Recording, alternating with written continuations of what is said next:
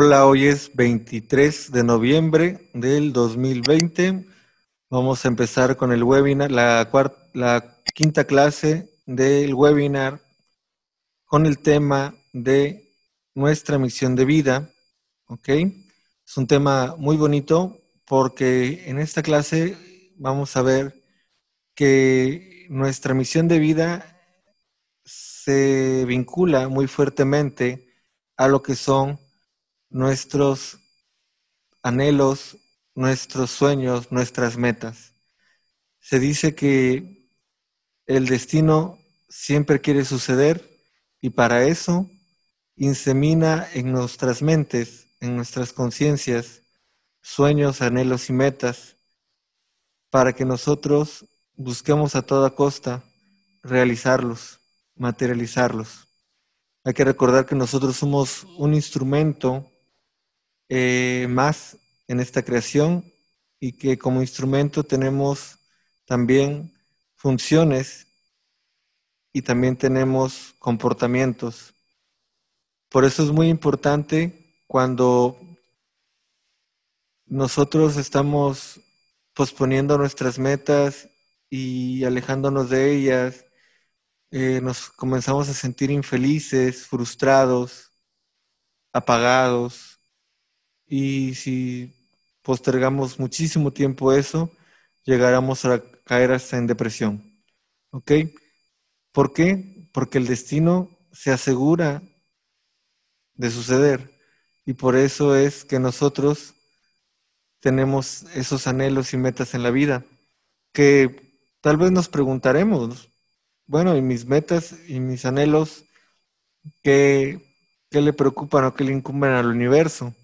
Como, como es de entenderse, cuando nosotros estamos involucrados en una dimensión, hay que recordar que nosotros estamos en la cuarta dimensión, por eso podemos manipular los artículos de tercera dimensión. Entonces, como estamos sumergidos en la cuarta dimensión, no podemos comprender qué es lo que contribuimos a la creación. Pero eh, las presencias y los seres de la quinta dimensión, créanme que pueden ver con toda claridad lo que nosotros contribuimos a esa creación. ¿Por qué? Porque están en una dimensión eh, más elevada que la de nosotros. Entonces, como si nosotros vemos un artículo tridimensional, y lo podemos manipular y ver, ¿ok? Y vamos a ver todos los puntos de este artículo. Así, los seres de una dimensión más elevada a la de nosotros, o sea, una quinta, una sexta, hay que recordar la teoría de las cuerdas que maneja nueve dimensiones, ¿ok? Entonces, ellos claramente pueden ver lo que nosotros vamos a, hacer o a aportar con, con la materialización de esas misiones de vida. Hay que recordar que nosotros estamos en la manifestación de humano, en la elevación de un ser humano. La que sigue arriba de nosotros es la crística. Aquí lo tenemos en el libro. vamos a a lo que es la jerarquía cósmica, ¿ok? Hay que, vamos a empezar. Empezamos desde lo más básico, que es el reino mineral. De ahí sigue el reino vegetal. Sigue eh, otra más arriba, es el reino animal. Y se subdivide en subreino también animal. Después de eso, la más elevada, la del reino animal, sigue el subreino humano mortal el que le sigue es, por elevación, es el reino humano. Otro más elevado al reino humano es el reino de los Cristos. Hay que recordar que eh, cuando en el Nuevo Testamento se refieren a Jesús, se refiere al ser humano y todo lo que va a pasar. Pero cuando se refiere al Jesús Cristo, es la versión perfecta del ser. ¿Sí? es la versión del humano en el reino de los Cristos, o sea, el ser superior, el ser perfecto, la versión perfecta de nosotros mismos. ¿Ok? De ahí le sigue el reino de los ángeles o de o devas mayores. De ahí le sigue el reino de los Eles. Después sigue el reino de los millones de logos planetarios. De ahí siguen los millones de logos solares. De ahí siguen millones de logos galácticos. Millones de logos cumulares. Millones de logos supercumulares. Y gran atractor supergaláctico hasta llegar a el absoluto, o sea, el centro de todo el universo, de toda la creación, ¿sí? Que de ahí parte la interacción entre lo manifestado, lo inmanifestado y la nada con el todo. ¿Ok?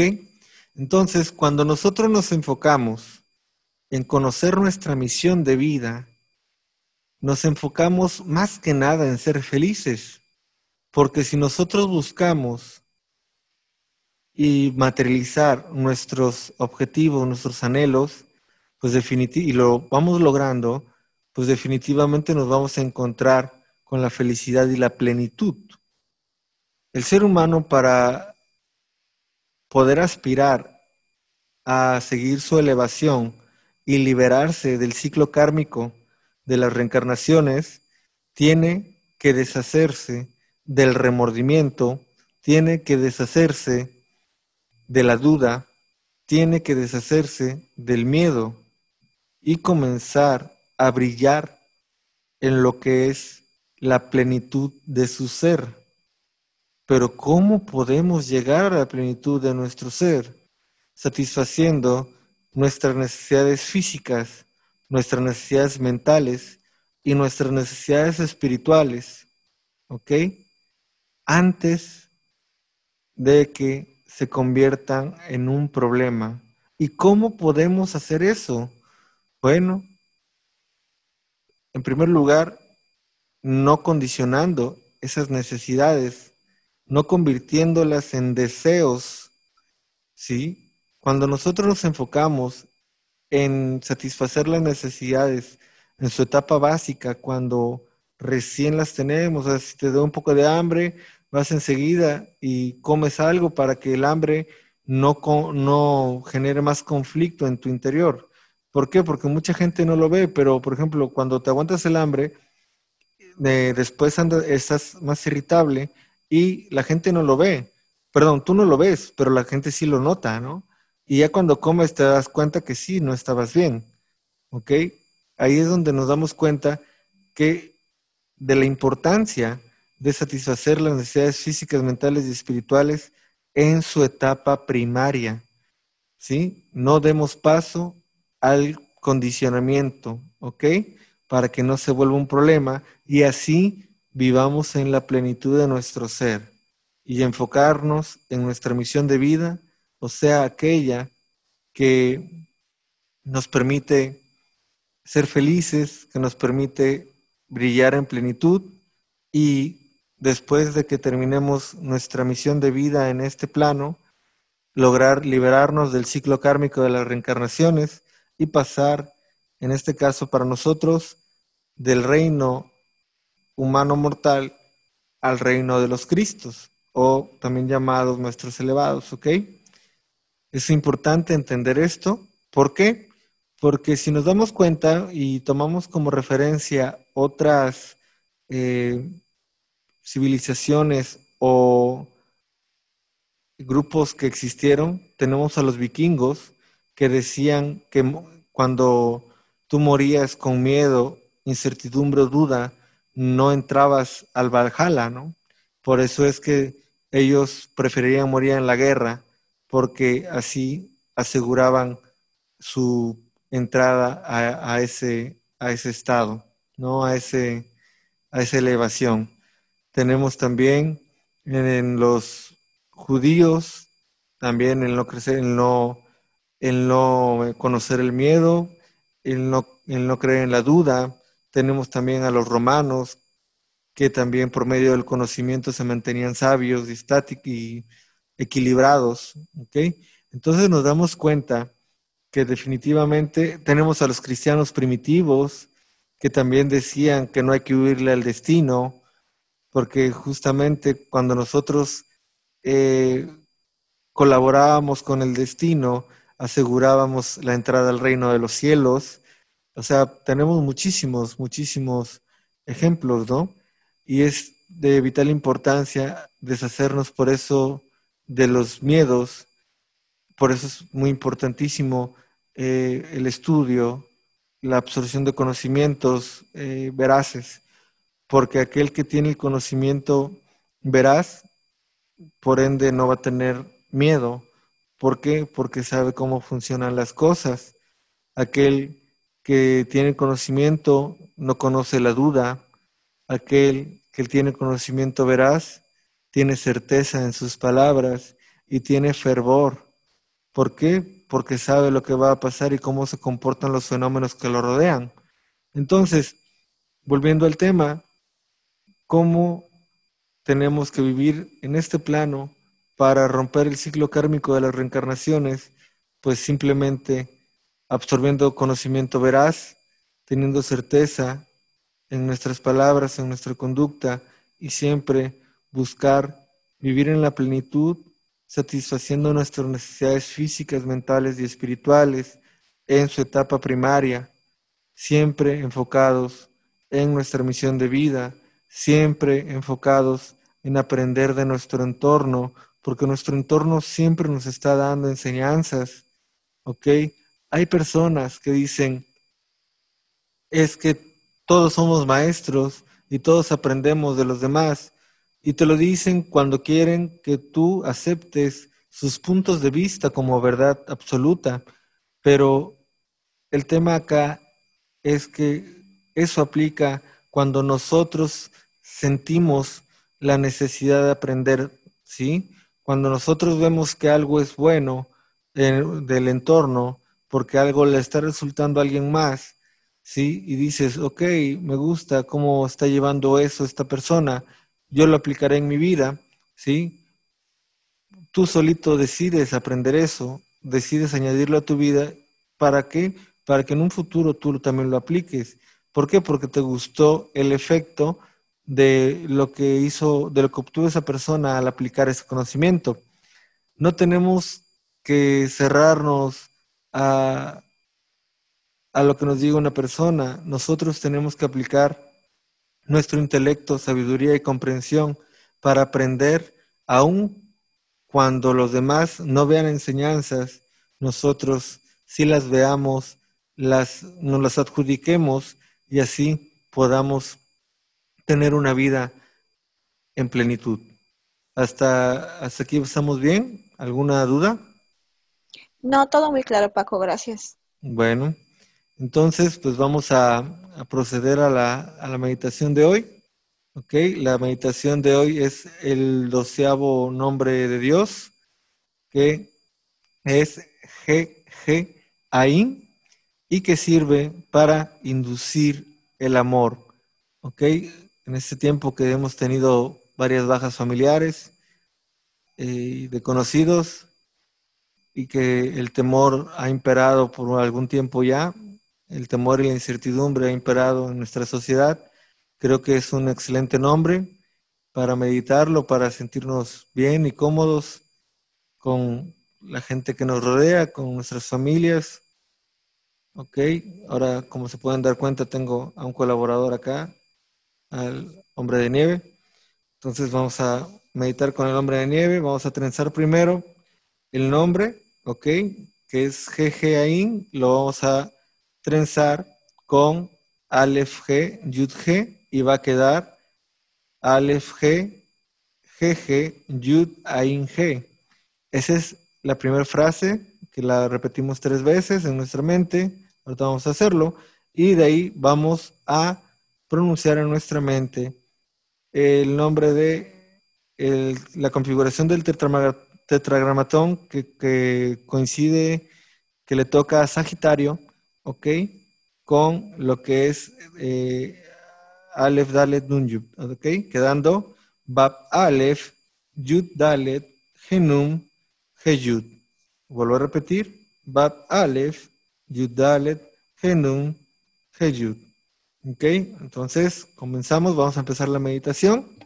Vamos a comenzar con el ejercicio de respiración que siempre eh, hacemos, pero antes quiero agradecerles a todas las personas que ven este video, ¿ok? Porque que estos videos, porque hemos tenido bastante aceptación en lo que es Facebook, en lo que es este YouTube, y les agradezco muchísimo el apoyo en ver nuestros videos. ¿Ok? Entonces, comenzamos eh, la meditación poniendo los pies en paralelo en el suelo. Apoyamos las manos sobre las rodillas, poniendo las palmas mirando hacia el cielo. ¿Ok? Espalda derechita. Cerramos los ojos y comenzamos a hacer los ejercicios de respiración. Inhalamos por nariz, retenemos 5 segundos y exhalamos por boca tres veces. Comenzamos. Inhalamos por nariz.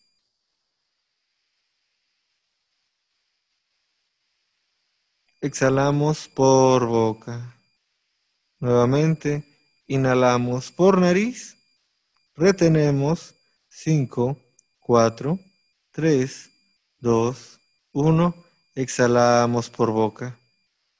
Inhalamos por nariz. Retenemos 5, 4, 3, 2, 1. Exhalamos por boca. Ok, ahora vamos a hacerlo a la inversa. Inhalamos por boca, retenemos 5 segundos y exhalamos por nariz. Inhalamos por boca, retenemos 5, 4, 3, 2, 1. Exhalamos por nariz. Nuevamente inhalamos por boca, retenemos 5, 4, 3, 2, 1, exhalamos por nariz. Una vez más, inhalamos por boca, retenemos 5, 4, 3, 2, 1, exhalamos por nariz. Ahora vamos a inhalar por nariz, retenemos el 50% de la capacidad de nuestros pulmones y exhalamos por nariz después de 3 segundos. Inhalamos por nariz. 3, 2, 1. Exhalamos por nariz. Nuevamente, inhalamos por nariz. 3, 2, 1. Exhalamos por nariz. Una última vez. Inhalamos por nariz. 3, 2, 1. Exhalamos por nariz. Ok, ahora cerramos nuestra boca, pegamos la lengua al paladar y en nuestra mente, en la, mente repitan después de mí la primera frase trenzada. Aleph, G, G, Yud, Ain, G. Nuevamente. Aleph, G, GG, Yud, Ain, G. Una última vez. Aleph, G, GG, Yud, Ain, G. Inhalamos por nariz, retenemos 3, 2, 1, exhalamos por nariz. Nuevamente. Inhalamos por nariz. Retenemos 3, 2, 1. Exhalamos por nariz. Ok, ahora vamos a pronunciar en nuestra mente la segunda frase trenzada. Repitan después de mí en su mente. Bab Aleph, Yud Dalet, Genun, Heyut. Bab Aleph, Yud Dalet, Genum, Heyut.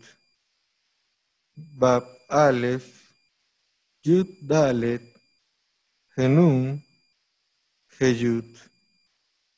Nuevamente, Bab Aleph, Yud Dalet, Genun, Heyut. Una última vez.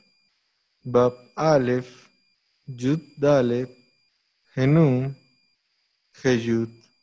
Inhalamos por nariz, retenemos tres segundos y los dejo en la meditación para que conecten con el ángel de la creación que tiene un mensaje que darles.